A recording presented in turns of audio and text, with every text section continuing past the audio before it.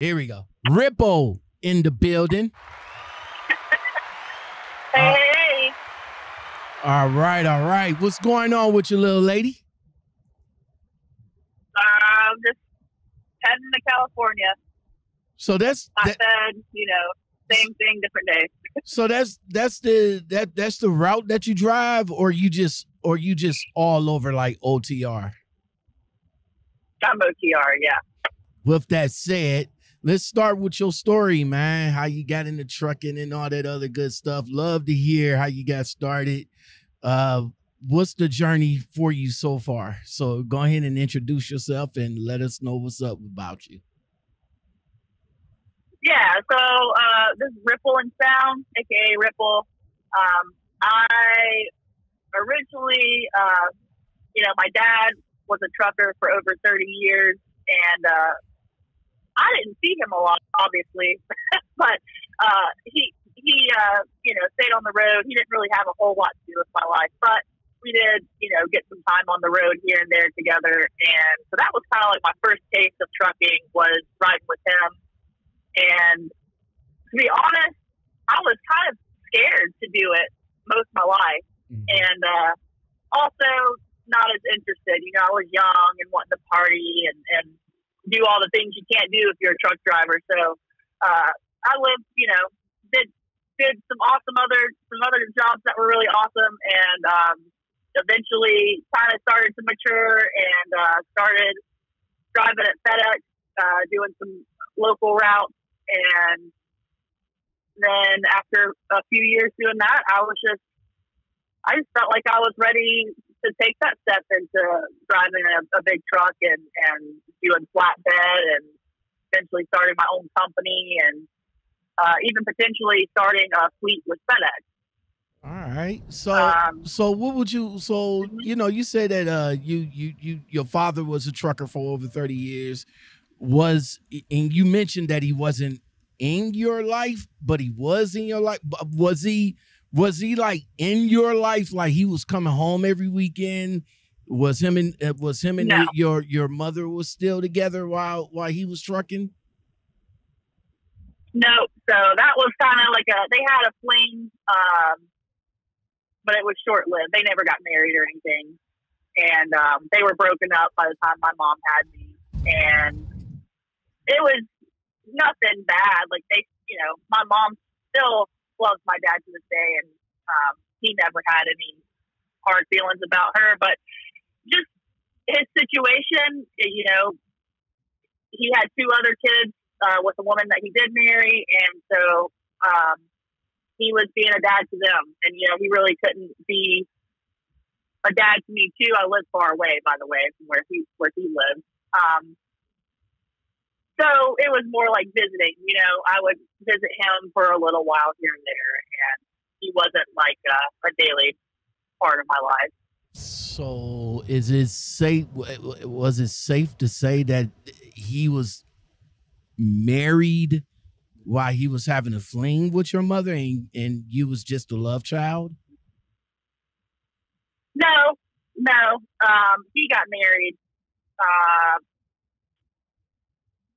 I think he actually was divorced by that time. Um, by the time I was born. I don't know, dude. To be honest, though, my dad was, you know, he was mostly on the road all the time, and he he has kids with with various women.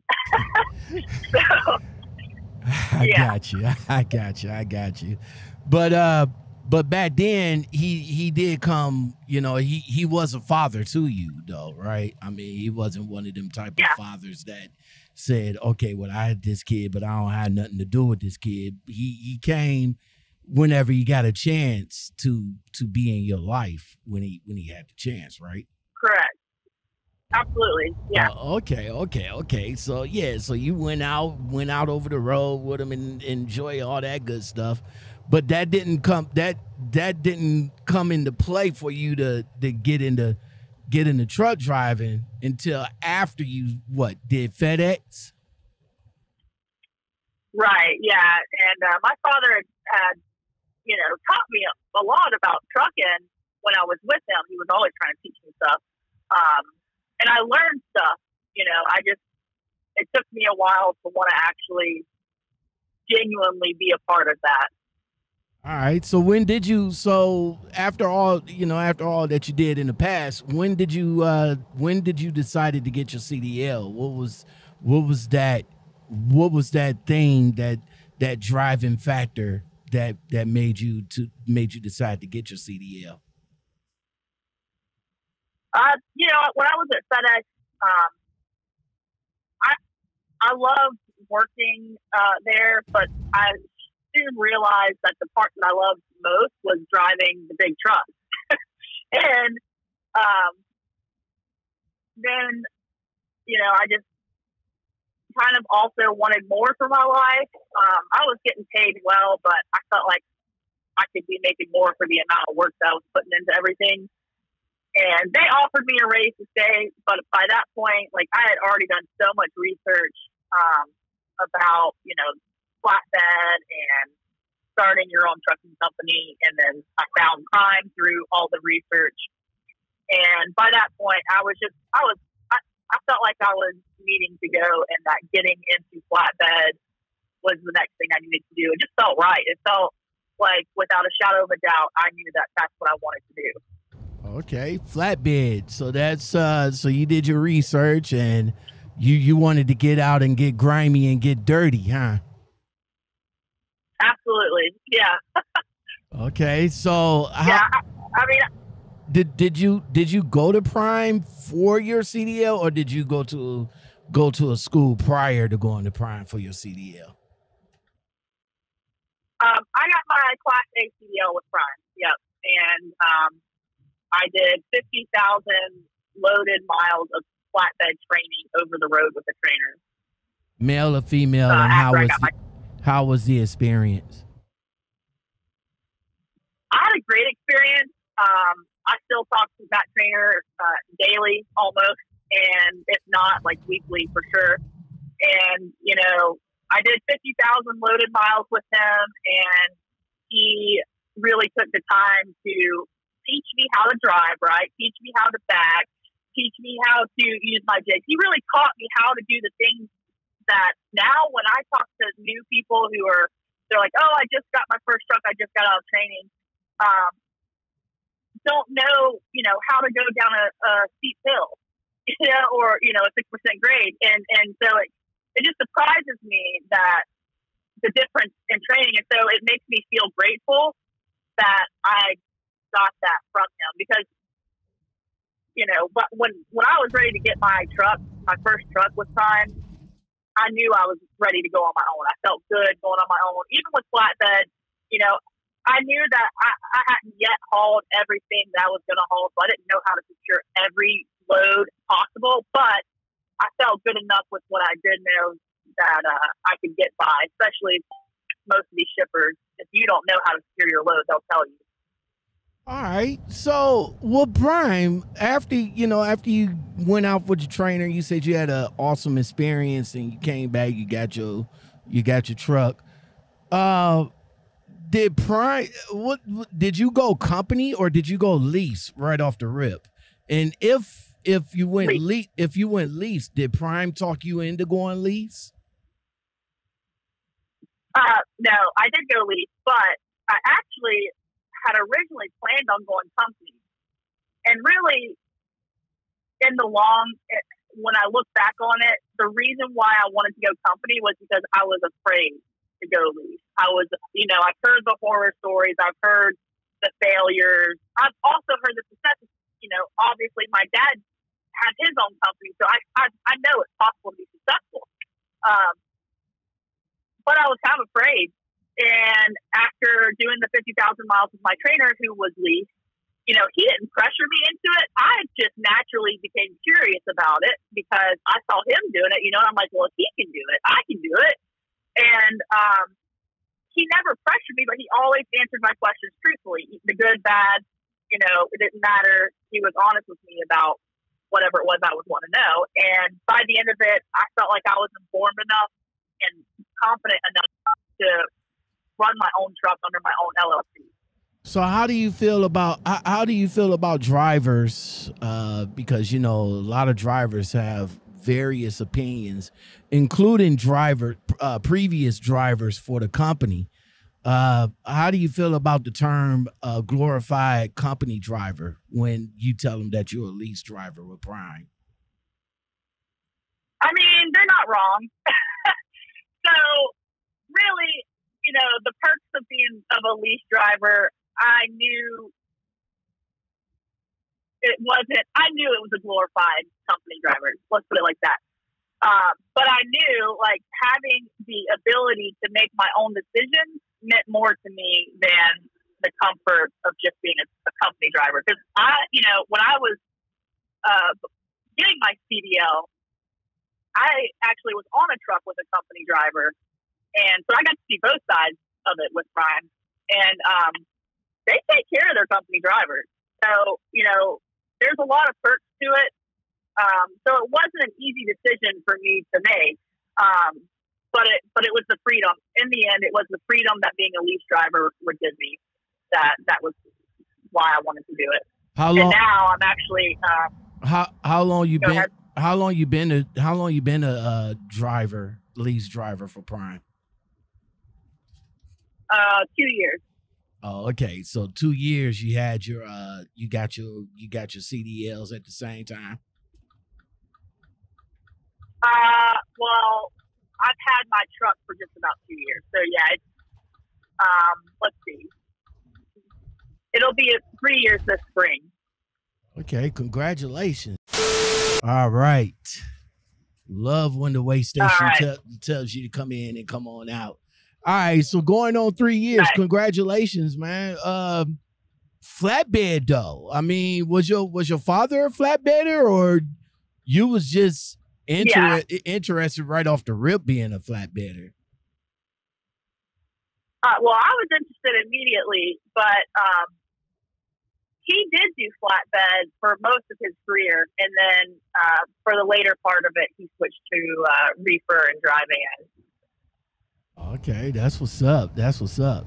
So, well, Prime, man, going on three years, uh, being a lease driver with Prime. Uh, as far as leasing goes, are you leased to purchase the truck very soon, or are you are you just it's like renting the truck pretty much? Um, that's the decision I still have to make with this truck. It is set up um, with Prime as a um, basically like a rental, but I since I've had the truck for two years, because you have to have it for two years minimum. Um, I've been thinking about potentially refinancing it through my bank and then just taking the truck, but um, I have ordered a new truck that I, as a lease purchase, um, but it's not through Prime; it's through an uh, a leasing company. Um, and that'll, I guess it'll be a loan, a loan essentially, because I'm going to have, uh, my end date to be like 2024 or 2025 when that truck's paid off. Okay, Uh, congratulations. Thank you. And so that's, I'm still figuring that out, but there's a good chance I'll, I'll just let Prime take this truck and, um, I'll start with that new truck because I really didn't get to, while I do love this truck, I didn't get to like customize it or do anything that I would have done to it. So I'm thinking about just the new truck that I have ordered, starting fresh with that one, and then building on a fleet from there. Okay, that's what's up. That's what's up. Are you once you get your own truck? Are you are you going to continue to lease one with Prime, or are you going to try and expand your options? No, I will absolutely stay with Prime. I want to build a fleet with Prime. Okay, that's what's up. That's what's up. All right, that's that. That's that loyalty I hear in the background, huh? Well, there's a lot of perks. You know, there's a big safety net under me, and um, should I start my own authority, I can still haul their freight and have that, you know, that security of that consistent freight and and, and good freight. Um, but I honestly, right now, I don't have an interest in starting my and, and running it under my own authority. I'll just run it under theirs, but under my own LLC. Okay, that's what's up. So let me ask you this right quick. Would uh, you know? Do you, you know, you've been out here for three years. You're still young in the game. Uh, still, you're still learning, of course, and of course, you still, you know, will Yeah. prime the the the coat of trucking. Uh, do you ever do you ever get criticism from male truckers, especially from flatbed male truckers? In person or on the internet? Mm, I would say both, maybe. I guess. Uh, in person, no. In person, I get a lot of praise. So many compliments.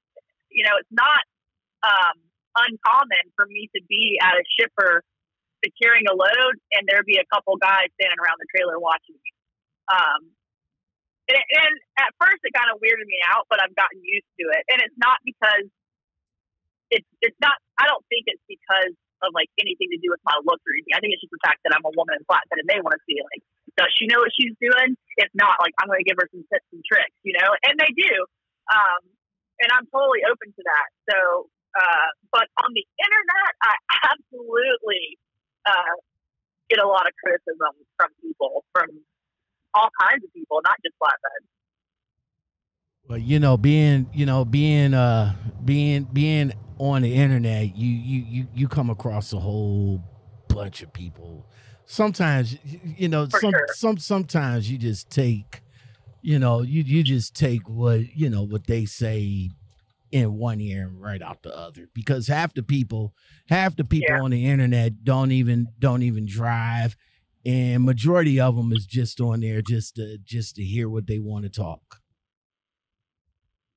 Yep. No, you're right about that.